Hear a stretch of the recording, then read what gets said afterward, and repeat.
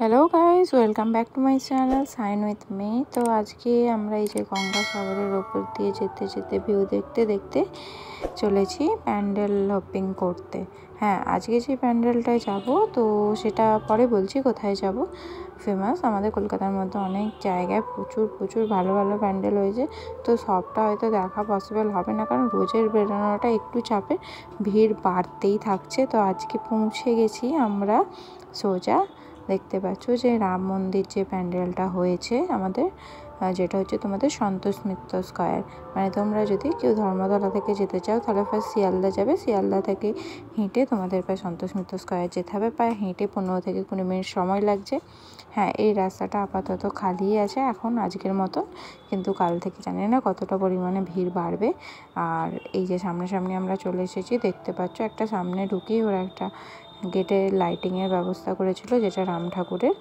এবং তারপরে ওখান থেকে লেফট সাইডে ক্রস করে আমরা ভেতরের দিকে এই যে ভিড় ঠেলতে ঠেলতে মোটামুটি ঢুকছি আর বড় বড় প্লাকার্ড এখানে ঝুলছে। এবারে এইভাবে ভিড় ঠেলতে ঠেলতে এগিয়ে যাচ্ছিলাম।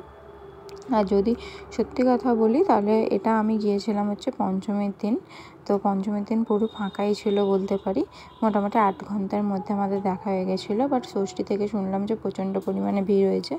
এই যে দেখতে পাচ্ছ, একটু একটু প্যান্ডেলটা দেখা যাচ্ছে অলরেডি লাইটারে তো আমরা এসে গেছি পুরো গেটের সামনে। গেটের সামনে থেকে এই যে এইরকম একটা বড় বোর্ড ওখানে দেওয়া আছে।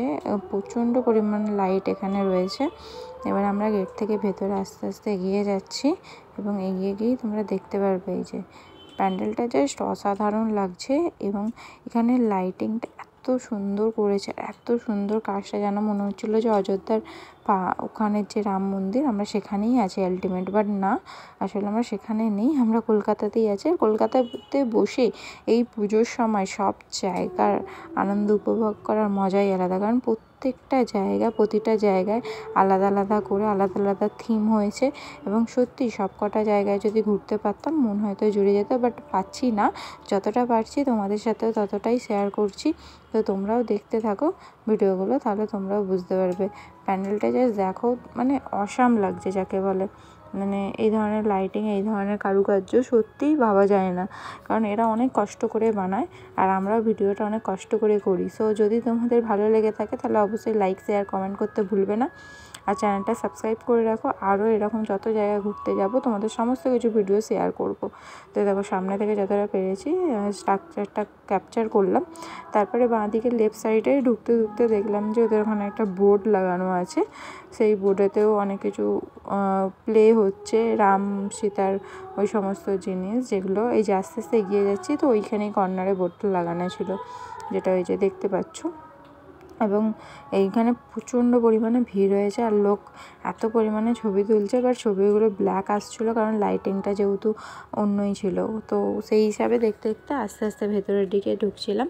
এবারে রাইট সাইডে আমরা ব্যাক করলাম। রাইট সাইডে ব্যাক করার পরে আমরা প্যান্ডেলের ভেতরে গিয়ে পৌঁছাচ্ছি। তো প্যান্ডেলের ভেতরে চলো, দেখে নিই দেবী মাকে। আর সাথে প্যান্ডেলের ভেতরে গাছটা, বাইরেটা তো এতক্ষণ দেখলে তো এবার ভেতরটাও দেখে নাও। ভেতরটাও দেখে নিয়ে আশা করছি তোমাদের ভালো লাগবে। এবং এই যে ভেতরে ঢুকে এসে এই রকম লাইটিং চলে। আর এখানে সবার ক্যামেরা ওপরের দিকে, কারোর ক্যামেরা নিচের দিকে নেই, কারণ সবার মন ছুঁয়ে গেছে এই প্যান্ডেলটা, সত্যি কথা বলতে গেলে। এই যে ওপরে একটা ঝুমুর লাগানো ছিল অ্যান্ড দেন এই যে দেবী মা। তো আমরা দুর্গা ঠাকুর দেখলাম, দুর্গা ঠাকুর দেখার পর এখান থেকে আমরা জাস্ট এক্সিট করে এলাম। এক্সিট করে গিয়ে আমরা বাঁ দিকে চলে গেলাম কলেজ স্কোয়ারের দিকে এবং ডান দিকে গেলে আমরা সন্তোষ মিত্র স্কোয়ার থেকে বাইরের দিকে চলে যাব। তো আজকের মতন এইটুকুই গাইস